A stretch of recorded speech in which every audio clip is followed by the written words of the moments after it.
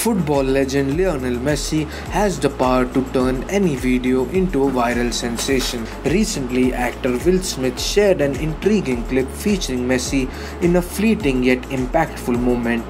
The video captures Smith and Martin Lawrence's attempts to navigate the complexities of football kicking when Messi unexpectedly enters the scene, eliciting surprise reactions from the duo.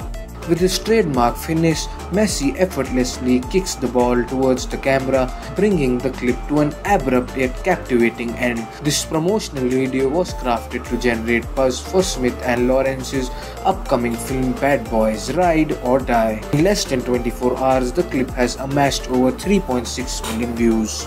Reacting to the video, many netizens shared their reactions. A user commented, Now you convince me, I'm going to see the movie. One commented, Messi is robbing Will's Oscar now.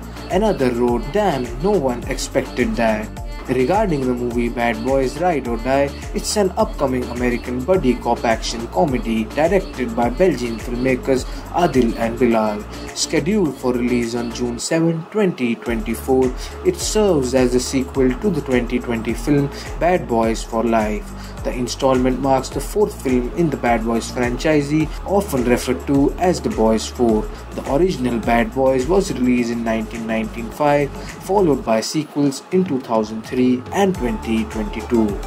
In the comedy action film, actors Vanessa Hudgens, Paola Núñez, and Alexander Ludwig are set to return their roles. Furthermore, Jacob Scipio, who debuted as Mike's Will Smith's son Armando in Bad Boys for Life, is anticipated to play a significant part.